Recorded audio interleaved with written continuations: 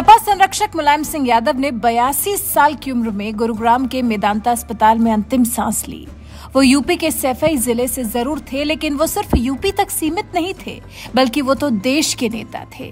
वो देश भर के नेताजी थे। अपने 55 साल के राजनीतिक करियर में मुलायम सिंह यादव यूपी के मुख्यमंत्री से लेकर रक्षा मंत्री तक का सफ़र तय कर चुके थे।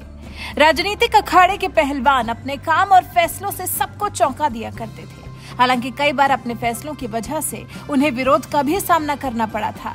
आपको जानकर हैरानी होगी, अपने राजनीतिक करियर में मौके ऐसे दो बार मिले जब प्रधानमंत्री बन सकते थे मुलायम सिंह यादव। लेकिन किस्मत ने साथ नहीं दिया तो कुछ विरोधियों ने भी अड़ंगा लगा दिया कि उस पद तक पहुँच ही नहीं पाए मुलायम सिंह यादव। जबकि रक्षा मंत्री के पद तक तो पहुँच ही गए थे। देवेगौड़ा और इंद्र कुमार गुजरात की सरकार में उन्नीस से उन्नीस सौ अठानवे के बीच में दो साल तक भारत के रक्षा मंत्री रहे मुलायम सिंह यादव। अपने इस कार्यकाल में उन्होंने बहुत से महत्वपूर्ण फैसले लिए, जिसके कारण सेना ने उन्हें बेस्ट रक्षा मंत्री भी बताया था।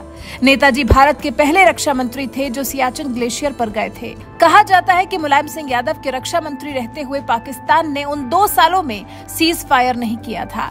इसके साथ ही उनके कार्यकाल के दौरान ही भारतीय सेना ने चीन को चार किलोमीटर पीछे ढकेल दिया था।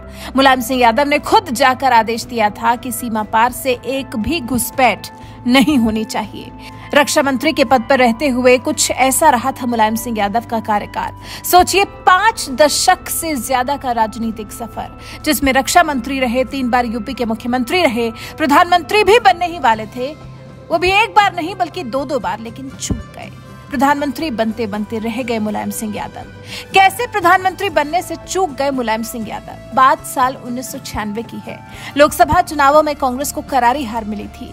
कांग्रेस के खाते में एक सौ इकतालीस सीटें आई थी। वहीं बीजेपी को एक सौ इकसठ सीटें मिली थी। इसके बाद दिवंगत नेता अटल बिहारी वाजपेयी ने प्रधानमंत्री के रूप में शपथ ली थी। हालाँकि ये सरकार ज़्यादा दिन तक नहीं चल सकी थी और मात्र तेरह दिन में ही गिर गई थी। वाजपेयी सरकार के तेरह दिनों में गिरने के बाद सबकी नज़र अगली सरकार पर टिकी थी।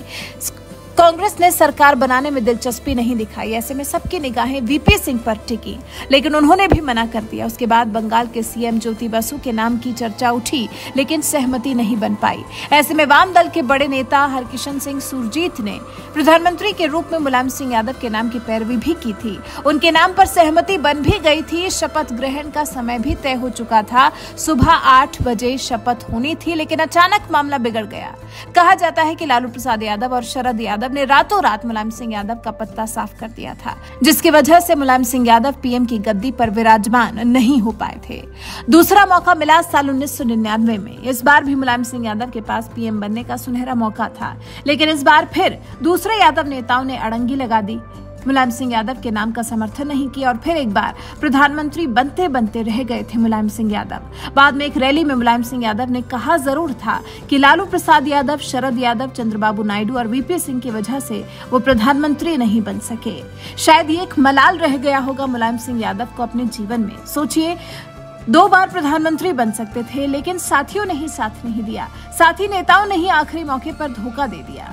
वैसे आप मुलायम सिंह यादव के प्रधानमंत्री नहीं बनने को लेकर क्या कुछ कहना चाहते हैं कमेंट कर हमें ज़रूर बताएँ।